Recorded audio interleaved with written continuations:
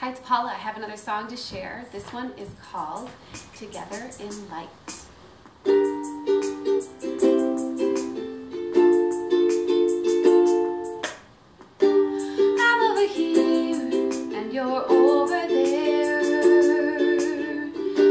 shattered.